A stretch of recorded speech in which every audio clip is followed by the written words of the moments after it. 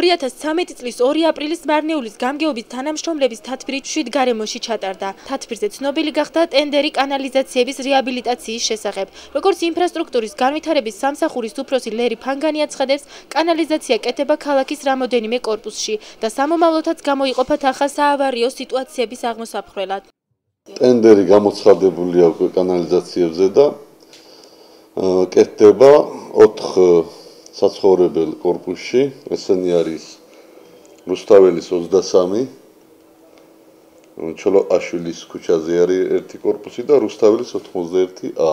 და მეოთხე არის ბაგაბაღი 26 მაისის ქუჩაზე, სადაც აგრეთვე შერემონტდება კანალიზაციის სისტემა. რაიონში ახლა იქნება საკრებულოს ხდომა.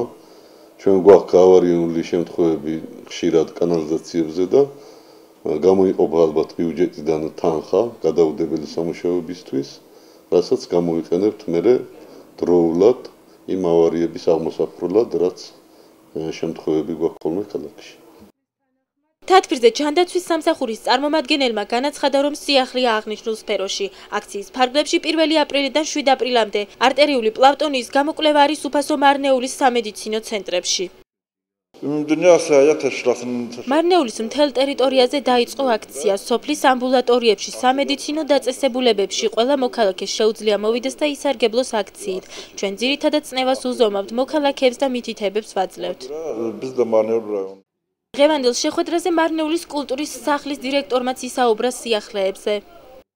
31 მარტს ჩვენი მოცეკვავები ანსამბლი ენგური მილინებული იყვნენ ფესტივალზე თბილისში ართოლში სადაც წარმატებით გამოვიდნენ მოცეკვავები და მე მაგალითად ყვაყოფილი ვარ მათი გამოსვლით კვირას იგეგმება მეორე ანსამბლის იბერიის გამგზავრება რუსთავში იქაც ფესტივალი ტარდება.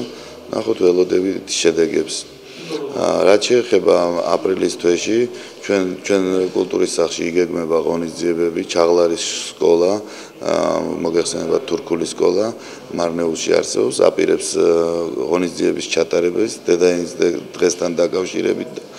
ჩვენ ვაპირებთ ამ თვის ბოლოს გავაკეთოთ მასშტაბური კიდევ ერთი ყოველ კვარტალური ღონისძიება ანუ ეს იქნება მშობლებისათვის და მოსახლეობისათვის კიდევ ერთი ღონისძიება, რომელიც მოიცავს იმას, რომ წარმოვადგინოთ ჩვენი მოცეკვავეები, მომღერლები, ანუ რასაც ვაკეთებთ ჩვენ ზოგადად და ვაჩვენოთ ხალხს, რა გავაკეთეთ ამ სამი თვის განმავლობაში, როგორც ეს ყოველთვის ხდებოდა. დასწრება თავისუფალია, ჩვენ არასდროს ფასიან კონცერტებს არ ვატარებთ.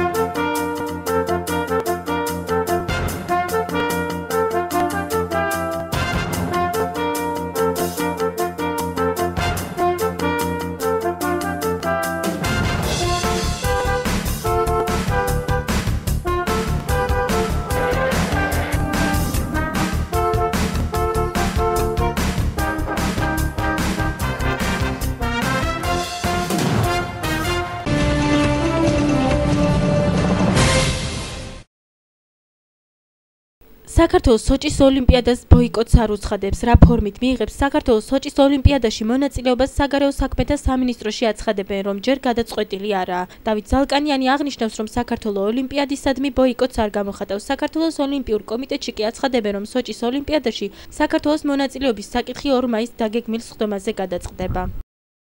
იყო გაჟღერებული პოზიცია რომ საქართველოს არ არ გამოხატავს ბოიკოტს სოჩის ოლიმპიადასთან დაკავშირებით. რაც შეეხება მონაწილეობას ეს საკითხი თავის დროზე იქნება მიღებული და ამ გადაწყვეტილების შესახებ საქართველოს მთავრობა უბუნებრივია ოფიციალურ პოზიციას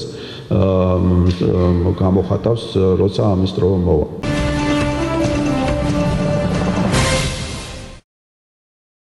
ნიდერლანდების სამეფოს საგარეო საქმეთა მინისტრმა საქართველოს ევროკავშირ შორის ასოცირების თემაზე გამართულ მოლაპარაკებების ბოლო რაუნდი დადებითად შეაფასა. დავით ზალკანიანის ინფორმაციით აღნიშნულზე მინისტრი ქართველ კოლეგას ესაუბრა.